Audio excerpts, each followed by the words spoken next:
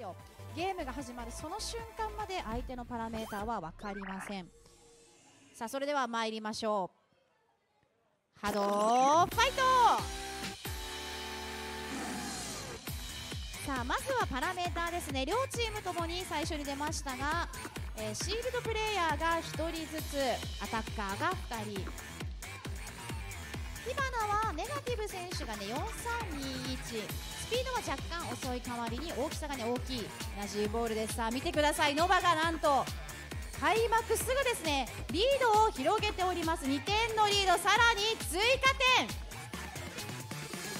さあマスターズカップ初出場初試合で火花相手にまずリードを取っております。残り時間が40秒後半戦。ここから気が抜けない。やはり日本ランキング第3位火花しっかりと追いついてくるさあライフ1枚だった、えー、プレーヤーをねまず落としてきました。1点差。さあすごいですね。正面一撃狙ってきました。ラスト20秒。まだ分かりません。さあ点差は3点。しかしアタッカーのライフは1枚ずつ。さあ追いついていけるか？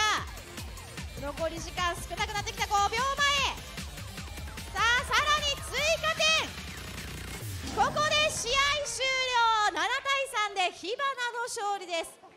後半の